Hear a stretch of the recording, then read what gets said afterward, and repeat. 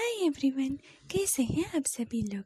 आज हम लोग देखने जा रहे हैं एक बहुत ही खूबसूरत सा एक टेक्निक इसे यूज़ करते ही अपने घर में पॉजिटिवनेस और अपेंडेंस जो है कि वो आना स्टार्ट हो जाएगी।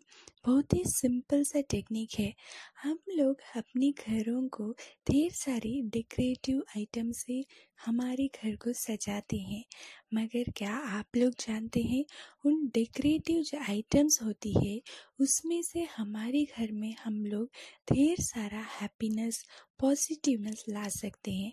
उनके बारे में ही आज हम लोग एक छोटी सी टेक्निक देखने जा रहे हैं, जो कि ट्राइड एंड टेस्टेड है। तो चलिए उस टेक्निक को देखते हैं।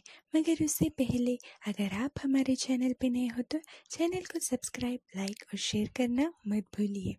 तो आज की जैसे कि मैंने कहा, हमारे घर में ढेर सारे डेकोरेशंस की चीज़ों से हम लोग डेकोरेट करते हैं, लेकिन वो डेकोरेशन चीज़ों से हमारे घर में पॉजिटिवनेस अबेंडेंस लाना है। तो उसकी, उसी का एक जो इंपॉर्टेंट चीज़ आज हम लोग देखने जा रहे हैं, जो है हमारा पीकॉक फेदर मतलब जो मोर पंख। मोर जो होती है पीकॉक फेदर ये बहुत सारे मतलब हमारे घर में पॉजिटिवनेस हैप्पीनेस लाते हैं, साथ में अबेंडेंस भी लाते हैं। ये एक मैजिकल चीज़ है, हमारे घर को इसे, हमारे घर में इसे यूज़ करने से बहुत सारी खूबसूरत भी आती है और उससे हमारे घर में खुशियाँ भी आती है। तो क्या करना है? आप लोग मार्केट से मोरपंख तो आसानी से मिलती है, पीकॉक फेदर। आप लोगों को उसे ले लेना है। उसे लेने के बाद उसे आप लोग अपने घर के साउथ ईस्ट के दिशा पर, यानी साउथ ईस्ट डायरेक्शन में उसे आप लोग डेकोरेट कीजिए। कुछ वहाँ पर इसे आप लोग वहाँ सजा सकते हो।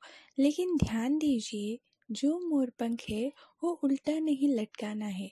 आपको मोरपंख को सीधा खड़ा कर रखे हुए सजाना है, ठीक है? उसे आप लोग टर्न कर कर नहीं यूज़ कर सकते मतलब स्ट्रेट खड़ा कर डेकोरेट कीजिए। बहुत ही मैजिकल रिजल्ट्स मिलती है। इसी तरह ढेर सारे हमारे डेकोरेशन चीज़ें हैं, जिसके कारण हमारे घर में खुशियाँ ला सकते हैं। उन सारे टेक्निक को जाने के लिए हमारे चैनल को सब्सक्राइब लाइक और शेयर करना मत भूलिए। कोई भी डाउट हो तो आप कमेंट कर कर पूछ सकते हो। Thank you so much for watching